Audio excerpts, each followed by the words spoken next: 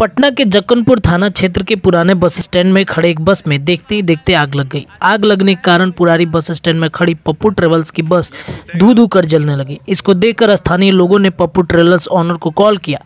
इस मामले की जानकारी मिलते ही घटनास्थल पर पहुँची चार दमकल की गाड़ियों ने धू धू कर जल रही बस पर आग पर काबू पाया। दरअसल पिछले हफ़्ते ही पटना के जक्कनपुर थाना से महज चंद फ्लॉक की दूरी पर मौजूद पुराने बस स्टैंड में खड़ी एक बस में अचानक से आग लग गई और इस कड़ी में रविवार की सुबह एक बार फिर से इस घटना की पुनरावृत्ति हुई। हालाँकि इस बार एक पुराने बस स्टैंड परिसर में खड़ी पप्पू ट्रेवल्स की बस में आग लग गई है। बताया जा रहा है कि तकनीकी कुछ खराबी के कारण कुछ दिनों से पप्पू ट्रेवल्स की यह लग्जरी बस पुराने बस स्टैंड परिसर में खड़ी हुई थी। और रविवार की सुबह अचानक आसपास के लोगों ने सबसे पहले इस बात से धुआँ निकलते देखा, तब तक आसपास के कुछ लोग समझ नहीं पाए।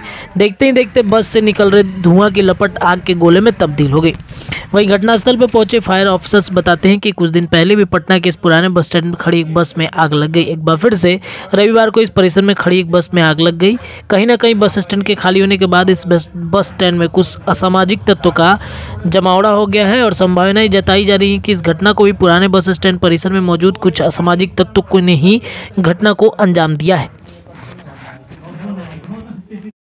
हाँ आग लग गई है और पिछले और भी इस तरह की घटनाएँ हो रही है जो कि हमको लगता है कि यहाँ पर बस स्टैंड हटने के कारण जो शांति इलाका पड़ रहा है, यहाँ पर कुछ उपद्रियों के द्वारा कुछ ऐसा हमको ऐसा महसूस होता है किया जा रहा है। बाकी आग लगी है, फायर की गाड़ियाँ जो हैं वो टाइम से आई है, बिल्कुल आग को बुझा दी है। और गाड़ी को जलने से ऊपर वाला पार्ट तो जल गया बट नीचे वाला पार्ट से बचा लिया गया है और एक के एक एक के एक बाद चार गाड़ियाँ आई है।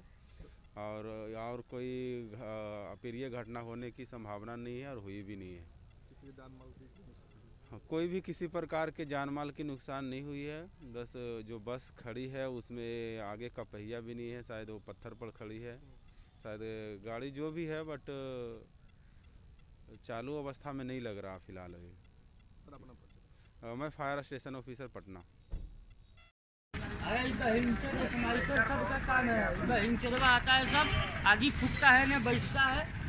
भाई करता उतनी ये फूटेगा अब आगे वाला फूटेगा।